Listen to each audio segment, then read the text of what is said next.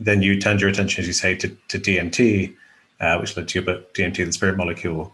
Um, how did, I mean, you effectively were the first person kind of starting this psychedelic renaissance at that point. Um, how did you, it's quite a bold thing to do, you know, how did you actually get the ball rolling on getting a study like this out there? Um, well, the first new study you know, took place in Germany, actually, about a year before ours, and they studied mescaline. Um, you know, but our study was the first new study in uh, the states uh, in a generation, um, and we studied DMT, and um, and we also studied psilocybin. Most people, I you know, um, I haven't written all that much about our you know, psilocybin work you know, but we uh, started a uh, you know, psilocybin study as well. Um, well, uh, it was a long, slow process to get uh, my DMT study off the ground. Um, you know, I moved to New Mexico to work at the university in Albuquerque. You know, for you know the reason that it was off the radar. It was a small school, um, but still strong scientifically and uh, you know quite libertarian. Uh, they let you do what you wanted to do as long as you could, uh, you know, support your arguments um, or you know support um, your proposal with uh, reasonable arguments. Um, and you know, I started thinking about you know doing a human psychedelic you know drug research study um, or studies.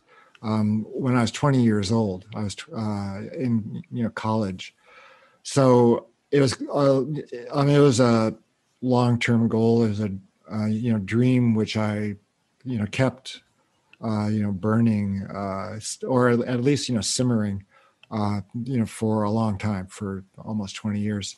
Um, and i believed i could do that work more comfortably in new mexico. Uh, i wouldn't be receiving the same you know kind of media attention. There wouldn't be uh, the scrutiny at the university you know level that we were stepping into something too controversial. Um, and i was also you know fortunate in being you know trained in clinical psychopharmacology research. Uh, i spent a year fellowship at, at uc san diego. My first you know two years in new mexico were on you know training funds as well to do the melatonin study uh, and I you know, cut my teeth. I became a you know, successful junior clinical researcher. Uh, you know, so I was in a in uh, well, so I was at the right you know place at the right time, um, in anticipation of my DMT or any kind of you know psychedelic work. I hadn't yet settled on DMT, you know, but in the meantime, uh, you know, during my fellowship, I you know, wrote a chapter for a book on adverse effects of psychedelic drugs, adverse reactions to LSD. Uh, you know, because I knew ultimately at some point I would need to uh, respond to concerns that psychedelics were unsafe, that they couldn't be used, you know, safely in humans. You know, so I read 200 you know papers on you know uh, on adverse effects to psychedelics. Uh, and it was a strong chapter, and my mentors at the time said, "Oh, this could be a standalone scientific paper. You know, why don't you write it up that way?"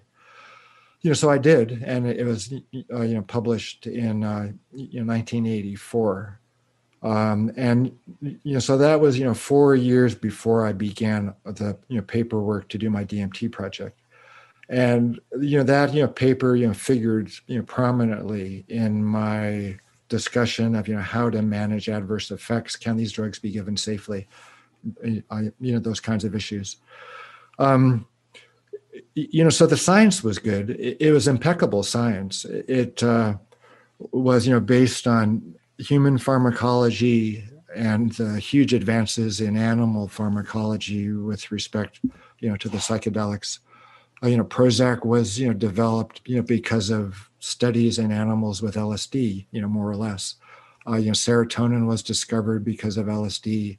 Um, well, you know, the relationship of, you know, serotonin, um, you know, to, you know, consciousness, you know, to mental, you know, function, uh, you know, was elucidated by studying LSD.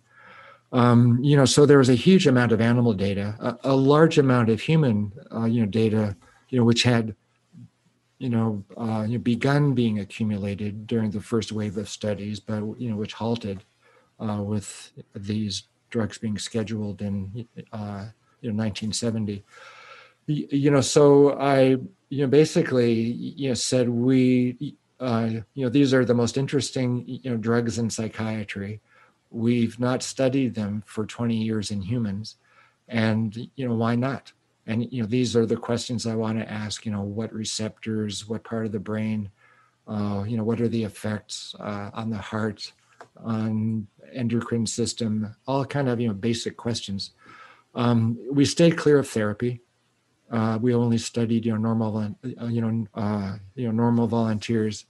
Uh, we stayed clear of mystical states, we just said, you know, this is a clinical psychopharmacology study, you know, dose response work. And I had been, you know, trained in, you know, in, uh, uh, uh you know, doing, you know, neuroendocrine, uh, you know, dose response work. You know, my mentor at UNM was a pediatric neuroendocrinologist, uh, you know, not a psychiatrist. You know, so he is like, you know, hardcore, you know, you know there are hormones there's the brain there's the relationship between the two and you have to uh, be you know precise in your thinking. Um, yeah you know so it was a strong study. It, it was and uh, yeah it it you know was a straightforward and strong study uh, just you know, you know kind of you know meat and potatoes. You know so the study got you know funded my, I had you know two grants uh, you know before I even uh, you know possessed DMT. Uh, you know the war on you know drugs. The National Institutes of Health uh, you know supported the work, and the Scottish Rite Foundation of the Masons uh, supported the work. Uh, you know, so the main you know problem was to get the DMT, and you know that was a you know two year process of working with you know federal you know regulators and uh, you know you know the DEA and the FDA. You know, so you know once I you know found someone, Dave Nichols at Purdue, that wanted to make or was agreeable to make DMT. Uh, it just was a you know back and forth, just all these phone calls and paperwork and things like that. Um, yeah, and we you know finally you know got uh, you know the drug. It was approved, and we began the study in late 1990.